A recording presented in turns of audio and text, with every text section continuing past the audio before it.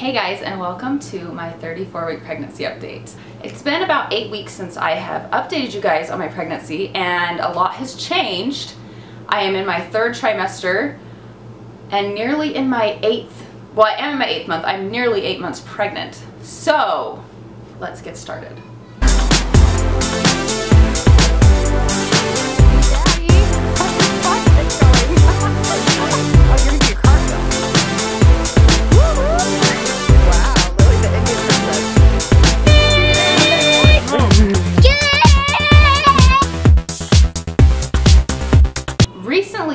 Definitely experienced a lot more back pain. Sciatic pain, back pain, hip pain, pain, pain, pain. I definitely feel very pregnant. The worst pain that I've probably felt was just probably like five days ago. We went um, fishing and we were out in the sun for quite a while and I got sunburned just horrendously up and down my arms.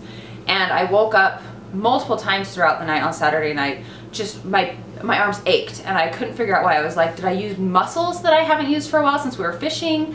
What is it? And I came to realize later on Sunday that I was just swelling from being sunburned, like just mass amounts of swelling in my arms to the point where I was just like in tears. And I have learned my lesson to not get sunburned. I will not ever again while I'm pregnant get sunburned. So I've been extra careful, extra, extra sunscreen, just staying on top of that because that was the most miserable thing. Um, swelling. I'm definitely experiencing it now that the weather's getting a lot warmer. My feet, my hands, my legs, I'm definitely swelling if I'm on my feet too much and if I'm out in the heat too much. But as long as I stay on top of my water, I can keep it more or less to a minimum. The one thing that I will just get out of the way. It's my least favorite thing to talk about, but I know everyone's curious and I'm always curious because it almost makes me feel better when I hear what people's weight gain is during pregnancy. so I have gained a total of 40 pounds. I am definitely over where I should be, but it's more or less normal for me. I'm a little bit more than I was with Graydon at this point in my pregnancy. Um, me and my doctor talked about that today. Um, I'm about five pounds more heavier than I was at this point with Graydon. So I'm just kind of still doing the same things, just taking it easy on what I eat. But my weight gain has been pretty like steady, non-existent. I stayed at the same weight for about three weeks and then had a big jump, just like over a three day period. It was like, boom, four pounds. And I was like, what the heck? I gained four pounds and I haven't changed anything. I haven't been eating differently. So that was not a fun weight gain, but to be honest, that's really like since, got in the past like five weeks, I've only put on four pounds. So for me, during this pregnancy, that's really good. That's a good weight gain for me. And then going from that to, I haven't gained any weight since then, and that was almost two weeks ago. I feel pretty good about that. I'm definitely feeling the baby more. I have um, an anterior placenta, which means it's on the front right here. So through the beginning or the middle of my pregnancy, I didn't feel the baby as much. Like I'd feel her kicks and jabs here and there, but I didn't feel her as much as I probably felt my other kids. But as she's gotten bigger and as I have gotten more pregnant, I feel her all the time. Her favorite times to be awake and moving are between 5.30 and 7.30 in the morning and 10 and 12 at night.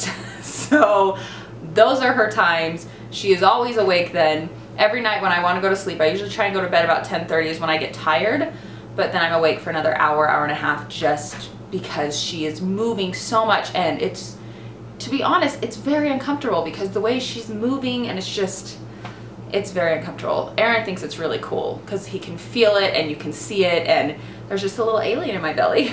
The kids really love it too. They think it is just amazing that mommy has this like thing in her belly that moves.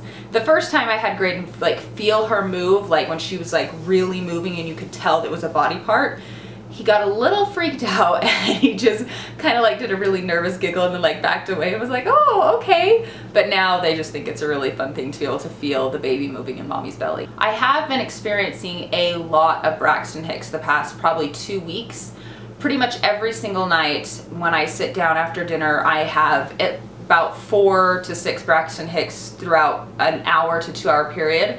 So I'm like right on the cusp where my doctor's like, well, if you're feeling them a little too much, then I want you to come in and get checked. So right now they're okay, but she is a little bit nervous that I'm having so many, but not to the point of concern unless I go in and they're turning into labor. So right now, just a ton of Braxton Hicks. I have had a couple moments where I'm like, oh my goodness, like these contractions like hurt, but so far it hasn't turned into anything. We haven't had any hospital visits and hopefully it stays that way. That's all I've got for you guys this week. I will end with a belly shot and I will see you guys next time. Okay, I'm gonna show you guys the front of my belly and the side.